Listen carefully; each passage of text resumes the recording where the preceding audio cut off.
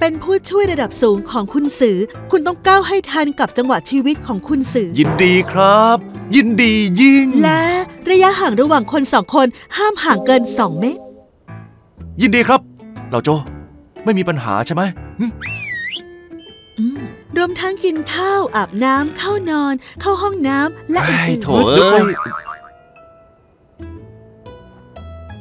นการชีวิตในแต่ละวันต้องดำเนินไปตามการวางแผนของคุณสือเป็นหลัก หากคุณโจชิงเหยียนต้องการเวลาทำกิจกรรมส่วนตัวต้องบอกให้อีกฝ่ายทราบล่วงหน้าก่อนเฮ้ยไม่ใช่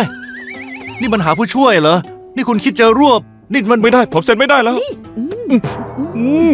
ไม่ได้แล้วเสร็จผู้แล้วซื้อต้องการคุ้มครองใบครับเราโจใจเย็นๆ พวกเขาคนเยอะกว่า เราสู้ไม่ไหวหรอก ไม่เป็นไร ออกไปเถอะ ครับ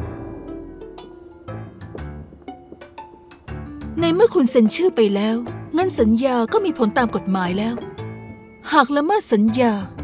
จะต้องชดใช้ให้ฉันสามเท่า